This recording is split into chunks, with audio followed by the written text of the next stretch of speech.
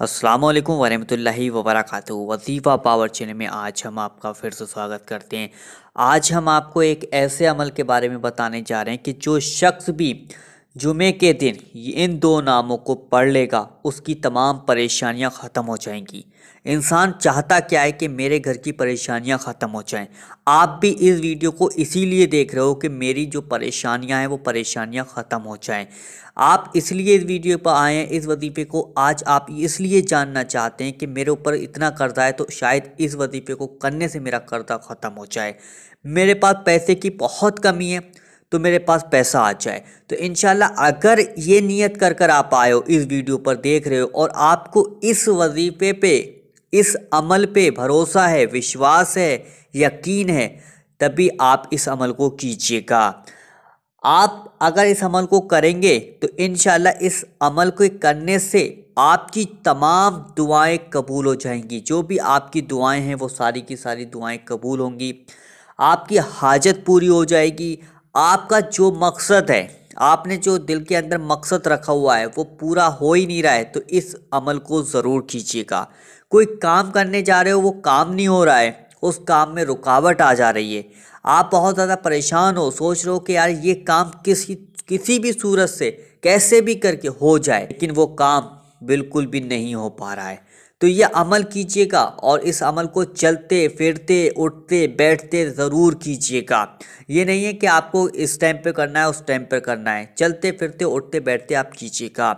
तो वीडियो शुरू करने से पहले आपसे एक छोटी सी गुजारिश है कि दिल से इस वीडियो को लाइक ज़रूर कीजिएगा और चैनल पर पहली बार आए तो चैनल को ज़रूर सब्सक्राइब कीजिए अल्लाह जितने लोग भी इस वजीफे को करें, उन सबको तो अपने प्यारे महबूब के सदक़े से कामयाबी अता फरमा। आमीन अल्लाह आमीन। कमेंट बॉक्स में आमीन ज़रूर लिख कर जाइएगा। क्या पता किसकी ज़ुबान से निकला हुआ आमीन कब कबूल हो जाए।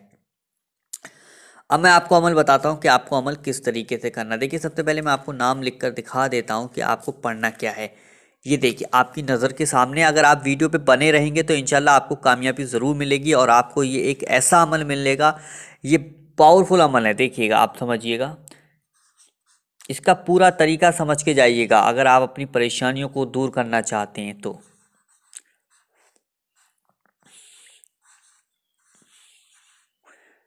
या कायदेरू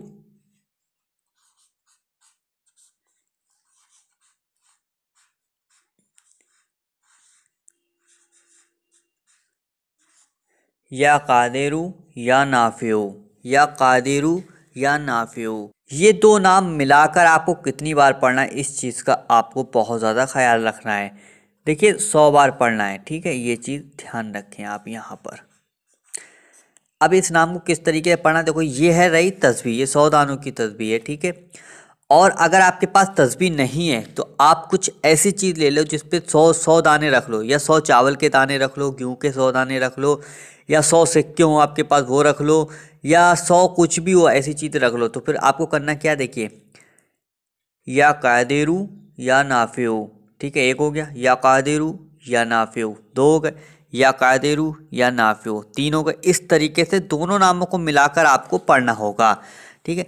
अब इस नाम को आपको दोनों नाम, चलते, फिरते, उठते, बैठते, किसी भी वक्त आप कर सकते हैं। सबसे बेस्ट तो तस्बी है, आपकी जेब में कुछ ऐसी होनी चाहिए, या फिर आप इन ऊनियों पे भी गिन सकते हो। ऐसी कोई बात नहीं है, इन ऊनियों पे भी आप गिन सकते हो, अगर आपके पास नहीं है तो कुछ इन दोनों नामों को आप ज़रूर पढ़िएगा। इंशाल्लाह इन नामों को पढ़ने से आपका कर्जा भी उतर जाएगा दौलत भी आपको मिलेगी आपके घर की गरीबी भी दूर हो जाएगी तमाम परेशानियाँ आपकी दूर हो जाएँगी इनशाला हर दुआ कबूल होगी इनशाला हाजत काम मकसद सब कुछ पूरा हो जाएगा तो आप इस वजीफ़े को ज़रूर कीजिएगा। अगर आप चाहते हैं कि ये वजीफ़ा दूसरे भाई बहनों तक पहुँचे तो आप इस वीडियो को ज़रूर शेयर कर दीजिएगा।